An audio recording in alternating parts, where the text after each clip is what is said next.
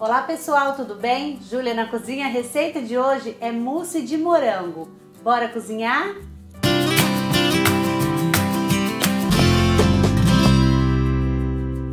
Bom pessoal, vou mostrar para vocês aqui os ingredientes no, da nossa mousse de morango, que é pouquíssimos ingredientes. Tenho aqui leite condensado, creme de leite, morangos e uma gelatina em pó sem sabor.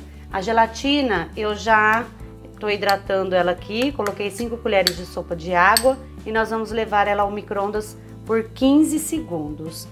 Mas antes disso, já vou colocar aqui, ó, o nosso liquidificador. É só bater todos os ingredientes, pessoal, super fácil. Vamos colocar o morango primeiro? Pessoal, eu tenho aqui duas caixinhas de morango que dá 500 gramas de morango. Eu deixei ali uns quatro só pra gente decorar na hora que ele estiver pronto, para ficar mais lindo ainda. Então, 500 gramas de morango, uma caixinha de leite condensado, pode ser da sua preferência.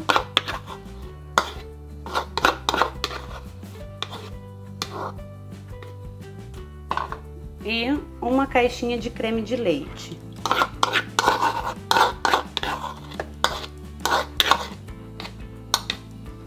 Bom, pessoal, antes de bater, eu vou colocar a nossa gelatina sem sabor no micro-ondas por 15 segundos. Bom, pessoal, 15 segundos no micro-ondas, não pode deixar mais do que isso, senão vai queimar e não vai dar certo, ela não vai endurecer. Então, nós já vamos colocar aqui também para bater tudo junto.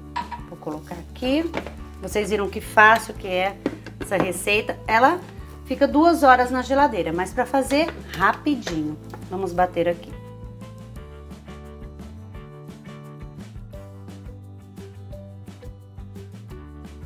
Bom, pessoal, bati aqui durante uns dois minutinhos e vocês viram que lindo que fica. E com a fruta, né? A mousse é com a fruta, não é com a gelatina de morango. Isso faz toda a diferença. Fica mais gostoso ainda. Fica todos os pedacinhos de morango. Bom, agora é só colocar no refratário é, os ingredientes completo, o tamanho do nosso refratário eu coloco na descrição do nosso vídeo, tá, pessoal? Bom, então aqui eu vou retirar tudo, colocar na geladeira por no mínimo duas horas e eu volto com vocês para mostrar nossa receita finalizada. Bom, pessoal, essa é a nossa receita pronta, a nossa mousse de morango, morango com as frutas nós fizemos. Já ficou duas horas na geladeira. Eu vou mostrar para vocês aqui a textura que fica, bem firminho. Gente, fica muito gostoso, ele fica aerado. Olha. Dá pra ver aí, Ju?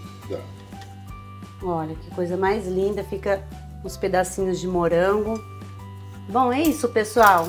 Eu espero que vocês tenham gostado da nossa receitinha. Se inscreva aqui no nosso canal, ative o sininho Deixe o like, comente e nos sigam nas redes sociais também. Um beijo e até a próxima!